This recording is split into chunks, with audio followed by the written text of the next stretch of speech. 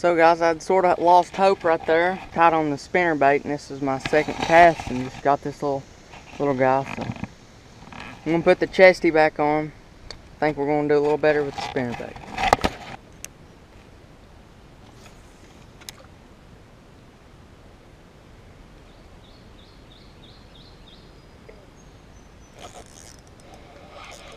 There's one.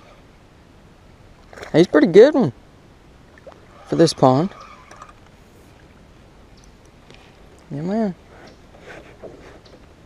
Caught him again on that little booyah. Little bitty booyah spinner bait.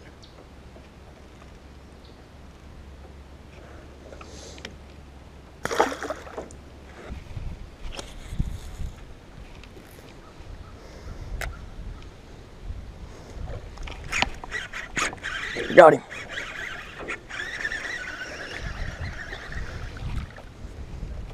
Yeah, he's a big old green bass. Ooh, perfect hook set.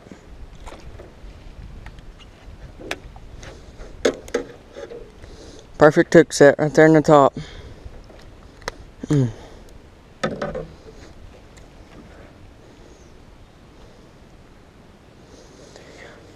Notice he's greener than the other ones. He was right up there in the very tip top of the weeds.